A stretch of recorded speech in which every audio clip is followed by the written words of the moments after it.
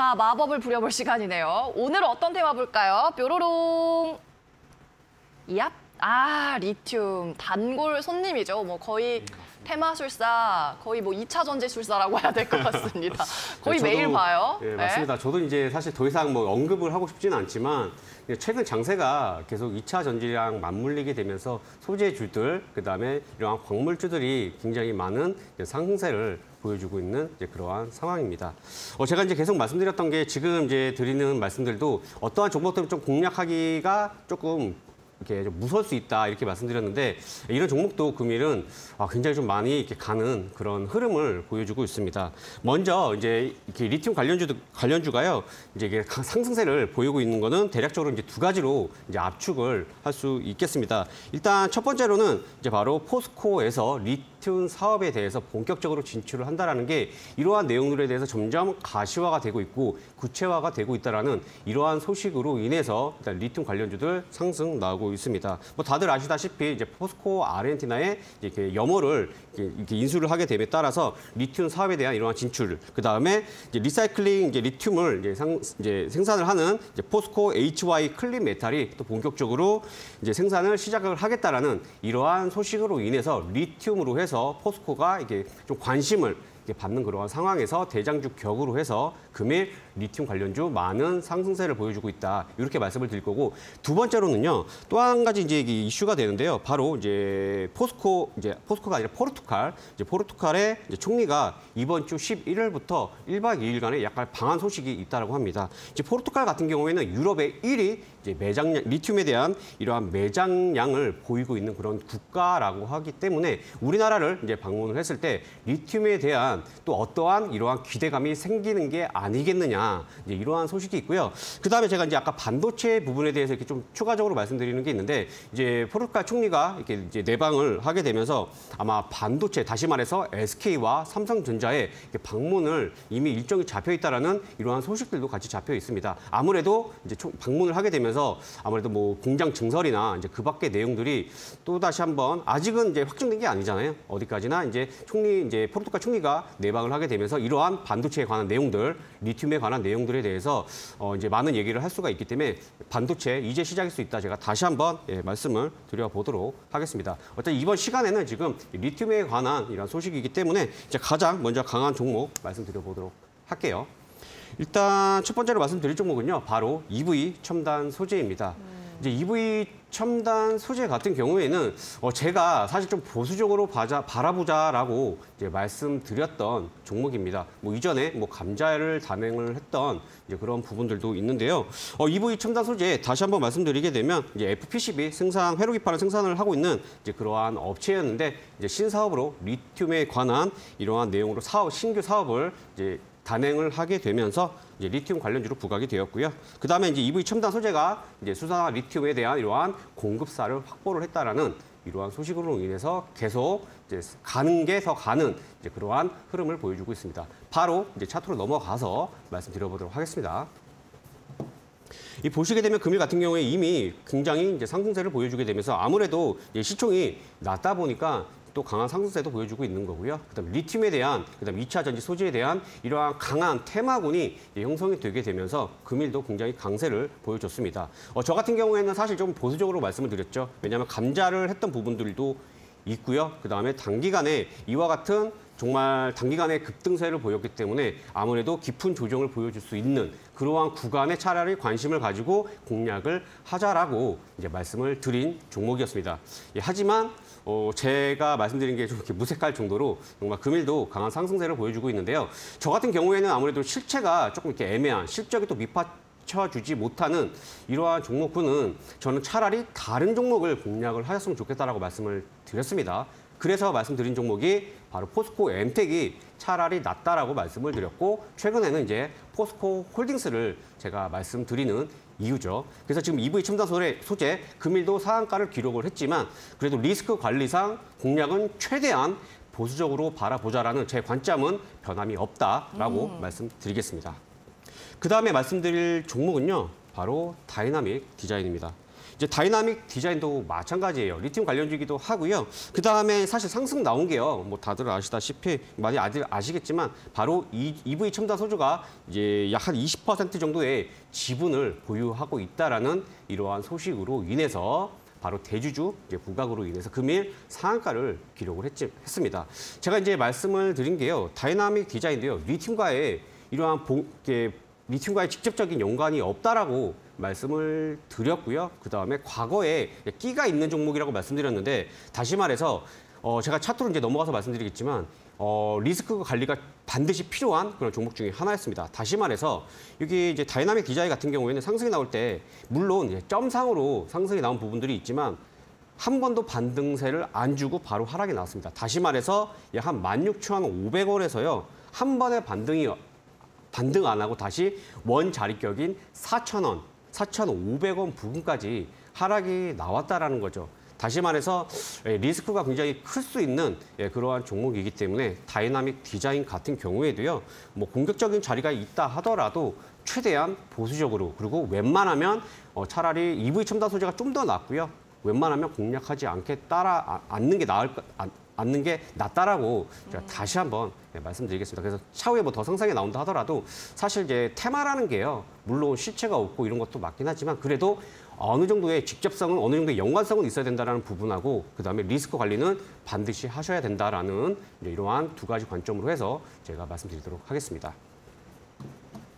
그다음 이제 말씀드릴 종목은요. 바로 이제 포스코 엠텍입니다. 이제 포스코 엠텍 같은 경우에는 제가 차라리 리튬에서 공략을 하시려면 포스코 엠텍이 낫고요. 그다음에 최근에는 이제 포스코 홀딩스가 추가되면서 제가 이제 포스코 홀딩스를 또 말씀을 드렸습니다. 이제 포스코 엠텍은 다른 게 아니라 철강에 대한 이런 포스코 그룹에 대해서 철강 포장을 하고 있는 이제 그러한 업체라고 말씀을 드렸고 그다음에 위탁 운영을 하고 있는 이제 그러한 법인입니다. 하지만 제가 말씀드린 게 바로 시총이 낮기 때문에 포스코 홀딩스가 상승이 나오는 것보다는 그 바로 관련 그룹사인 포스코 엠텍이 많은 상승이 나올 수 있다라고 말씀드린 그런 부분들이 있습니다. 그래서 차라리 지금도 공략을 하실 거면 조정을 줬을 때 포스코 엠텍이 그나마 상대적으로 낫지 않나 제가 다시 한번 이렇게 말씀을 드릴 거고요. 바로 또 차트로 넘어가서 말씀드려보도록 할게요. 이제 포스코 엠텍 정말 많은 상승세를 보여줬어요. 제가 이제 말씀을 드렸을 때도 대략적으로 한 8,300원대도 있었고요. 그 다음에 그 전에도 있었습니다. 근데 그 전에는 포스코 엠텍이 많은 상승세를 보여주지는 못했습니다. 그러다가 이번에 리튬에 대한 이러한 기대감이 부가, 그 다음에 테마군이 조성이 되게 되면서 이제 지난해부터 그 다음에 올해 본격적인 상승 랠리가 시작이 된 그런 상황입니다. 물론 지금도 제가 말씀드렸을 때 뭐라 말씀드렸죠? 올해 기준으로 100% 상승이 나와도 어떻죠? 더 공략을 해야 된다 말씀을 드렸습니다. 왜냐하면 다른 2차 전주, 2차 전지 관련주들이 기본으로 100% 이상은 상승이 나오게 되는데 아무래도 포스코가 직접적인 연관성이 있기 때문에 100% 이상은 상승이 충분히 나올 수 있다. 이렇게 드린 말씀이고요.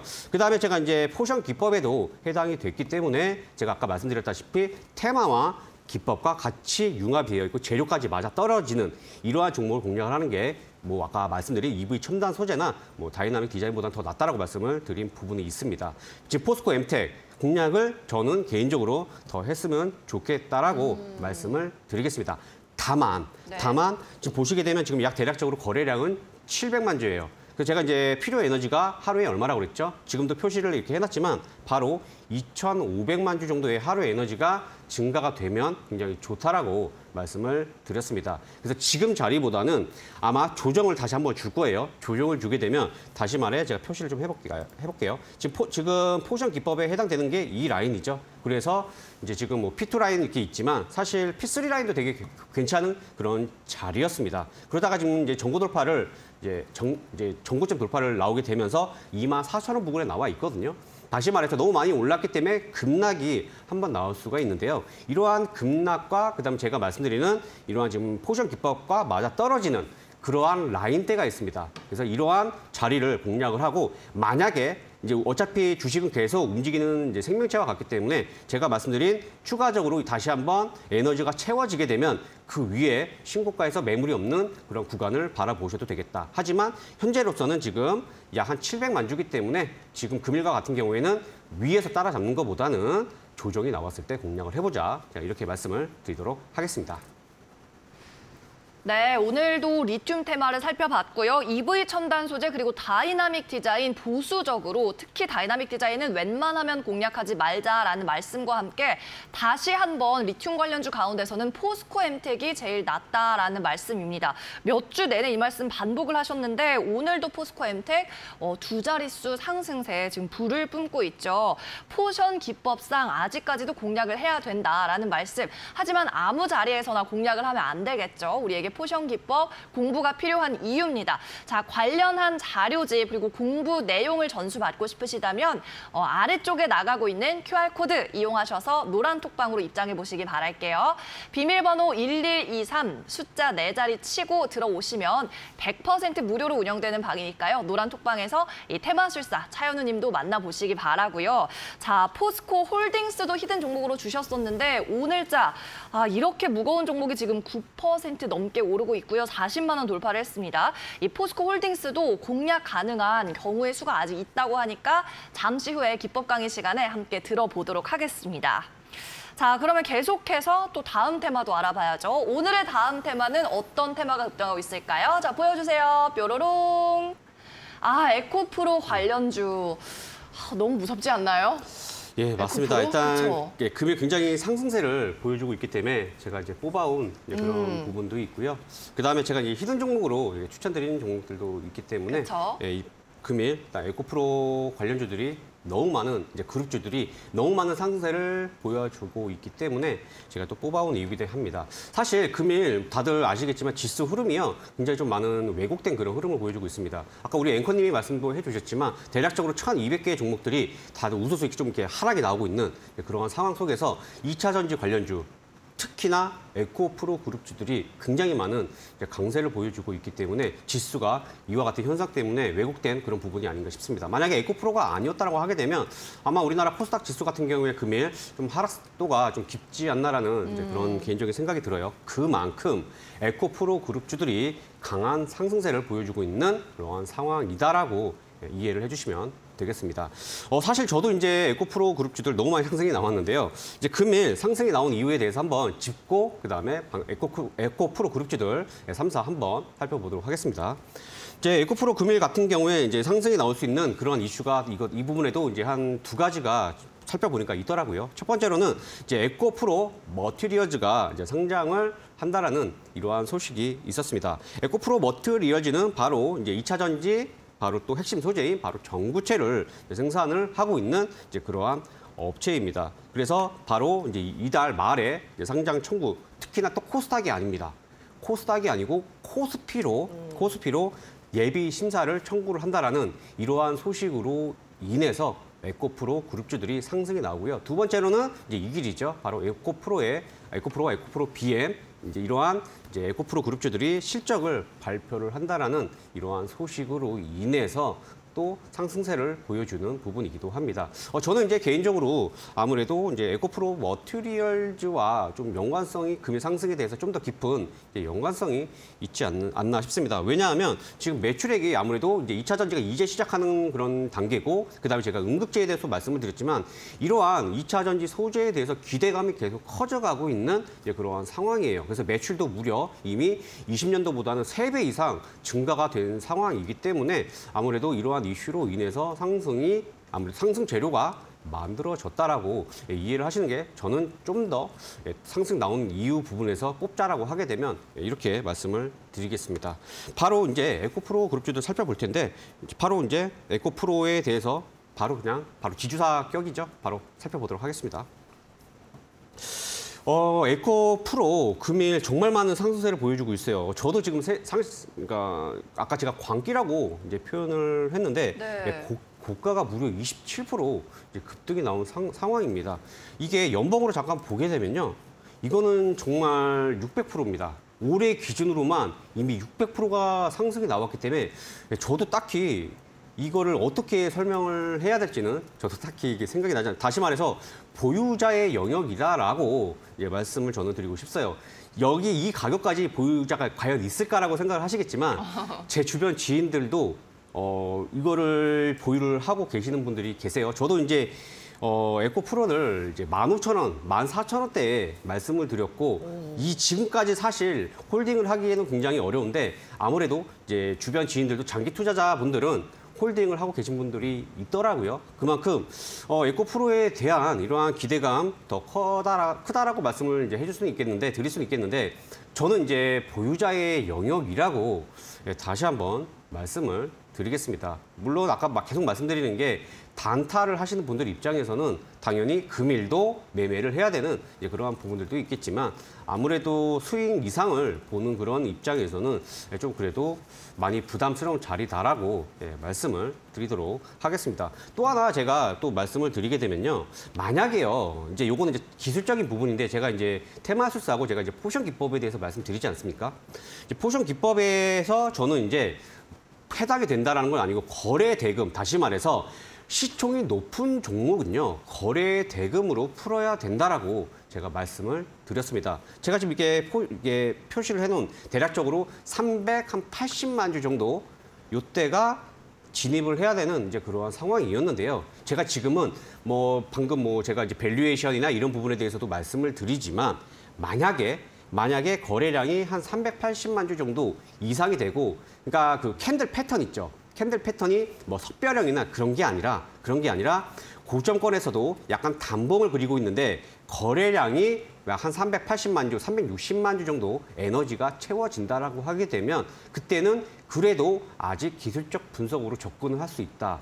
요 정도까지만 말씀을 드릴게요. 왜냐하면 제가 지금 너무 많이 상승이 나왔기 때문에 저도 지금 함부로 말씀을 드릴 수 없는 그런 보유자의 영역이라고 말씀드렸지만 그래도 관심 가지신 분들 분명히 계실 거란 말이에요. 그래서 제가 지금 기술적인 관점으로 해서 제가 한번 에코프로 말씀드려 봤습니다. 그래서 지금 에코프로는 계속 이제 기대감은 갖긴 하겠지만 그래도 일단은 후발주를 공략을 하지 않겠냐라고 다시 한번 말씀드리도록 하겠습니다. 그 다음에 말씀드릴 종목은요, 바로 에코프로 BM입니다. 이제 에코프로 BM 금일 또 많은 상승세를 보여주고 있어요. 이미 사실 뭐 외국계 보고서나 이런 데는 이미 너무 많은 밸류에이션을 너무 많이 쳐졌다. 뭐 이런 얘기들도 있고요. 그래서 공매도의 세력들과의 이러한 내용들도 이제 굉장히 많은데요. 뭐 그런 거를 단숨에 그냥 우습게 보듯이 정말 많은 이제 상승세를 보여주고 있는 그런 상황입니다. 뭐 에코, 에코프로 BM은 뭐 다들 아시다시피 이제 하이니켈 양극재를 생산하고 있는 그러한 업체로 해서 이미 다들 알고 있는 그러한 업체고요. 어, 지금 저 같은 경우 아까도 말씀드렸다시피 에코프로, 에코프로 BM 다 비슷한 관점입니다.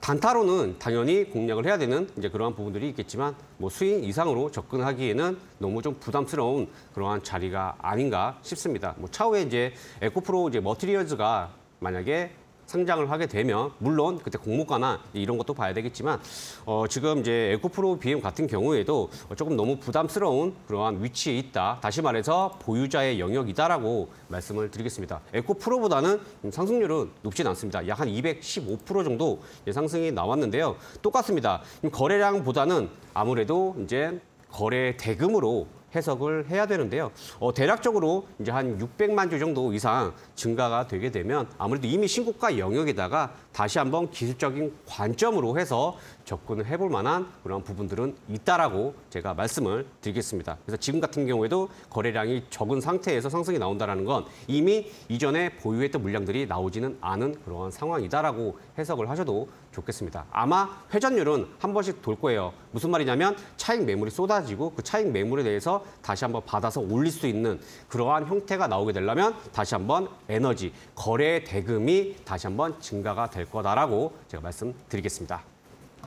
그 다음에 이제 마지막으로 이제 제가 이제 많이 말씀드렸고 히든 종목으로 말씀드렸던 바로 에코프로 HN입니다. 이제 에코프로 HN 같은 경우에 금일 이제 5% 정도 상승이 나와주고 있습니다. 제가 이제 말씀드렸던 거는 이제 에코프로 HN은 이제 환경사업부에서 이제 인적 분할된 그러한 법인인데 제가 이제 미세먼지가 코로나 이후로 해서 굉장히 중국이 산업화를 이제 다시 한번 재가동이 되게 되면서 미세먼지나 그 밖에 이제 탄소 중립에 대한 이러한 내용들, 내용들 때문에 에코프로 HN을 제가 말씀드렸고요. 그 다음에 에코프로 그룹주로 해서 후발주로 해서 말씀드린 이유이기도 합니다. 이제 추가적으로 이제 또 보게 되면 양, 양극재 이제 도펀 트라고 하는 이러한 부소재 개발, 그 다음에 유기 전자재료 분야의 사업을 또 진출할 수 있다라는 이러한 기대감도 있습니다. 무슨 말씀인지 이차 이해되시죠? 이차 전지와는 뭐 밀접한 이러한 내용들은 없지만 이러한 이차 전지에 대해서 다시 한번 테마가 지금 너무 뜨거 너무나도 뜨겁기 때문에 이게 한번 또 이슈가 되면 에코프로 HN이 또 상승이 나올 수 있다라는 이러한 기대감도 지금 부각된 게 아니라 잠재되어 있다라고 이해를 해 주시면 되겠습니다. 그래서 에코프로 HN 제가 히든 종목으로 말씀드린 종목이기도 하고요. 바로 이제 차트로 넘어가서 말씀드려 보도록 할게요.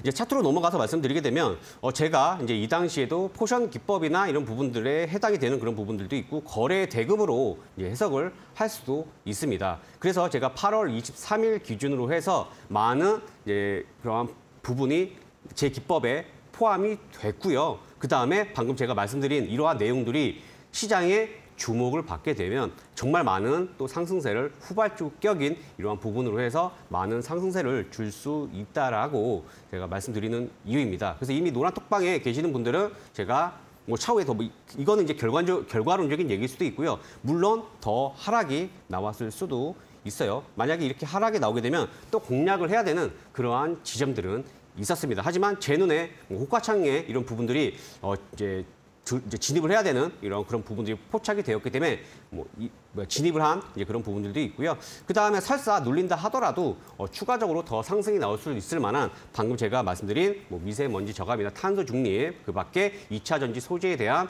이러한 또 진출 기대감까지 맞물리게 되면서 전고점 돌파는 충분히 나올 수 있다라고 말씀을 드리도록 하고 하겠습니다. 그래서 방금 에코프로 관- 관련 그룹주들에서 관심이 있다라고 하게 되면 에코프로 HN을 에코프로 그룹주에서 한번 관심을 가져보자. 자, 이렇게 말씀드리도록 하겠습니다.